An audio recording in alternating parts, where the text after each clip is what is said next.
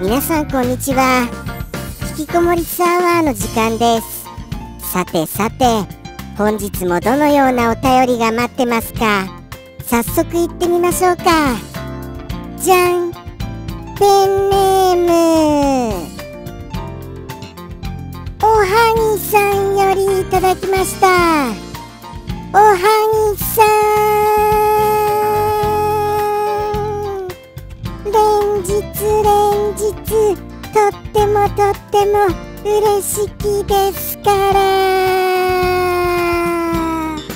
こうも連日いただけますと僕とおはぎさんの絆を感じずにはおられませんから。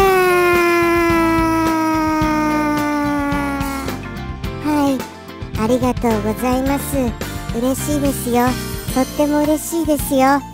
あのこうしてお便りをいただけるっていうことはおはぎさんが元気でいらっしゃるっていうことが分かりますからね。はい。もうもう全然元気がなくて何もする気がないよというようになりましたらさすがにここにお便りは届かないと思うのですよ。ですからお元気であること僕は信じております。はい。あの応援してますからねいつでも。僕はいつでも。ですからもしもピンチになった時はちょっとリス聞いてよ。こうこうこういうことがあったんだよ。もうもうほんとやってられないよね。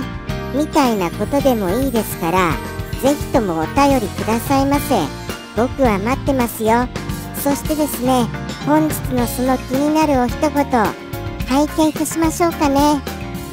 じゃん。おおこれはこれは僕も推奨の一言でございます。はい。ちょっとなんとなくアメリカンな喋り方になりましてすみませんね。なんかちょっとあれですか？あのー、なんていうかそういうアメリカなまりが出ちゃうっていう感じにあの鼻につくところとかちょっとございました？大丈夫です？すみませんね本当に。なんかこうそういう時があるんですよ。どうしてもそういう風に言いたくなっちゃう時が。そんなこんなでちょっとあのこのいただいたお一言簡単にご説明したいと思います。そうですね。これちょっと難しいですよまたまた。またまた難しいな。えーとですね暗くなったら自宅待機だみたいな。そんな感じでございます。はい。そんな感じなお一言でございます。ただもっと今言ったよりも若干あの一見聞くとネガティブにも捉えられがちかもしれませんけれども。そんな感じではございますよ。はい。もう一回言いましょうか？もう一回。 One more one more one more one more がちょっと言いにくいなって思いました今。いきますよ。あの暗くなったら自宅待機だ。ですよねやっぱり。そんな感じですよ。それ以外にどうやって表現しましょうかね。ちょっと思い起こしませんが思い起こさないっていう表現がちょっと違います？思い当たりませんがですかね。とのことでしてあの自宅待機なさっている時間ということはですよ。まあまあ僕は昼夜問わず自宅待機を推奨したい方なんですけれどもおはぎさんの忙しさの中で言ったらそんなことはできませんからね。そこはちょっと残念なところなのですよ。おはぎさんだって本当でしたらもう昼夜問わずとは言いたいところではあるとは思うのです。ですから忙しいおはぎさんを僕はあのただただ応援するしかできませんが本当にあの応援するばかりです。はい。もしもあれですよ。疲れちゃいましたらやっぱりそれもあのここにお便りくださいませ。そしてじゃあじゃあ逆に言えばあの暗くなったらゆっくりできるということで間違いございませんでしょうか？何なさってます？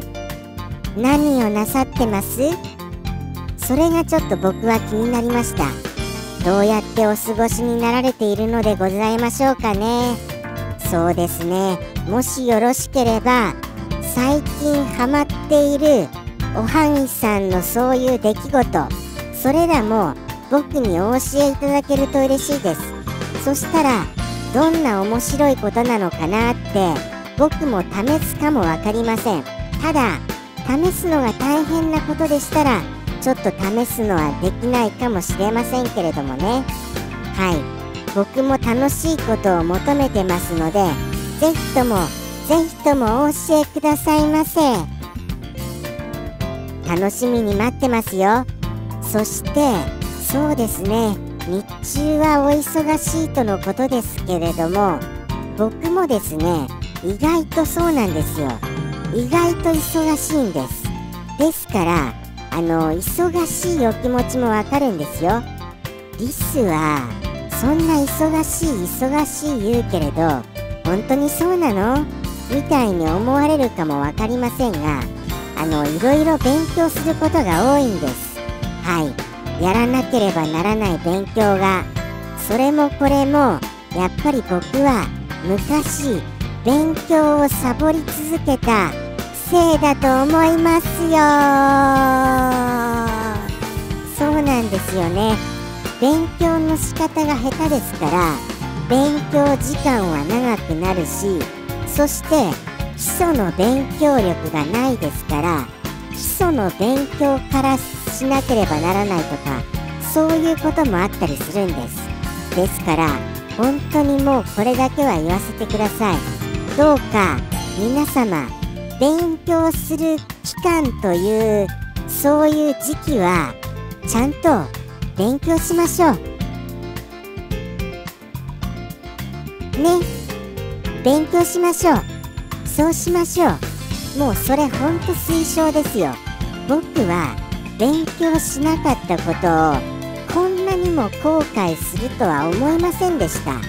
本当にもうもうそのおかげでもう今大変ですから。今がもう今こんな大変になるんだったらやっぱり勉強する期間だよっていう時にぼーっとしてないでちゃんと勉強した方が良かったよ。その方が絶対楽に生きられたって本当に思いますよこれ。もうこれもう僕の本音です。本音本音本音です。はい。そんなこんなでございまして僕は本当あのこんなあのちょっとあのダラダラっとした感じに見られがちかもしれませんが実は今こそ頑張らねばならぬようなそういう状況に追い込まれているのでございました。はい。皆様も追い込まれる前に楽しく勉強しましょうね。ということでしていきましょうか。そろそろおはぎさんの一言。だいぶ話としてはずれちゃいましたけれどもね。ではいきますよ。どんなお一言やら楽しみにお考えになってくださいませ。それではそれではおはぎさんよりの一言。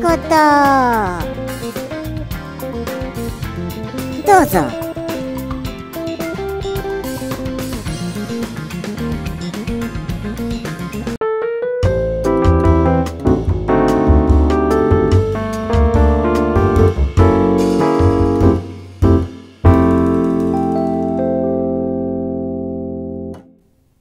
夜は家で引きこもる時間だ。